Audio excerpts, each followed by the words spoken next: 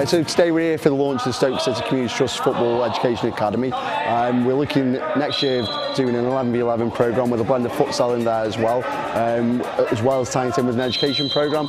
So you'll study a BTEC level 3 in sports development and coaching whilst representing the club in the EFL Community and Education Alliance League and the EFL Trust Futsal Leagues as well.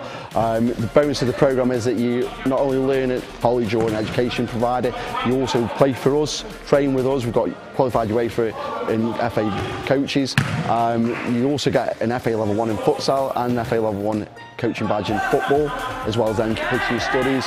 But also tied into that as well, you get your work experience with the community trust, so you go out on all our different projects, do, studying what you're putting into practice really. From the age of five, I've been involved with the community trust, starting with the soccer schools during the half terms and on weekends. From that, I did it till about age 12, 13, where I got up to the Academy Development. After that, I uh, finished high school and decided to take A levels. Then I thought these weren't for me, and then I heard about the Stoke City Community Trust futsal project, and I under, uh, undertook a BTEC level 3 in sport coaching and development, where I got a distinction star, distinction, distinction.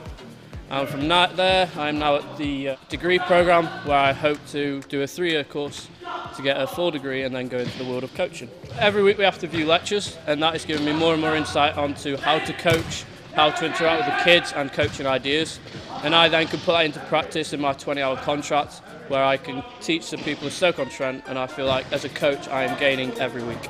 I've played a little bit of futsal in the academy um, and I really enjoyed it to be fair, so why not? I think obviously looking at today, the, the 5v5 futsal is a lot of lads who are supporting Stoke City and not necessarily going to make it as players, but uh, it's another way that they can play for Stoke. Yeah, and like likewise with the education, that's an important um, route to go through as well because it gets you into coaching. Um, and then if you obviously don't make it as a player, it's something to, to look back on and succeed in that. But uh, the futsal, I think, the 5v5 and obviously the 11v11, which they're trying to, which Stoke are trying to promote for next September, um, I would definitely get into it because it's um, very enjoyable. So.